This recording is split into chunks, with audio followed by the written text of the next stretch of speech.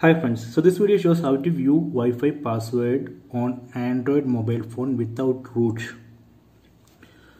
So let me go to settings, then go to connections, then go to Wi-Fi. So here you can see one Wi-Fi connection. So I want to find the password of this Wi-Fi. So what we need to do is first we need to find the IP address of the router. So let me check the IP address of this uh, Wi-Fi router that we can find from this uh, Wi-Fi connection. Just tap on this settings icon then tap on advanced then tap on DHCP then tap on static so here you can see the IP of the gateway. So this is the IP address of the router. 192.168.1.1 so this is the IP address of this mobile phone.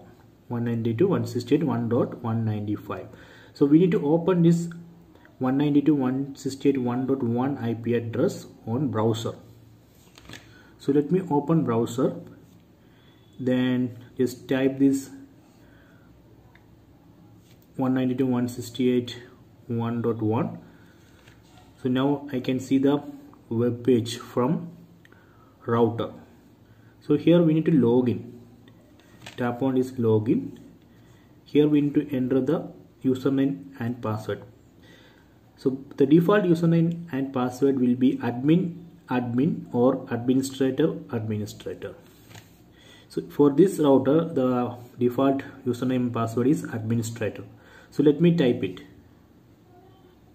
okay then tap on login. Okay done. Now we need to go to settings. Then go to Wi-Fi.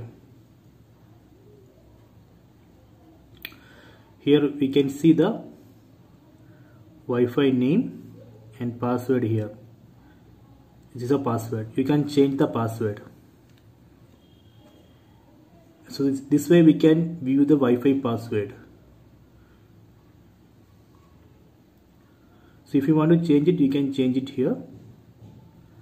It's very simple.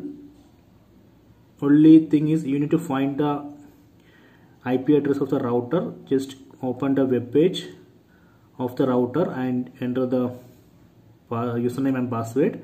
The default username and password is admin admin or administrator administrator then just go to the page and you can find the password.